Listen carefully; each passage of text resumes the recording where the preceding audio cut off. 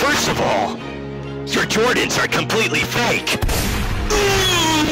Second, Razor Chin, you have absolutely no maidens. And finally, you, my friend, haven't even thought about buying Spotify Premium.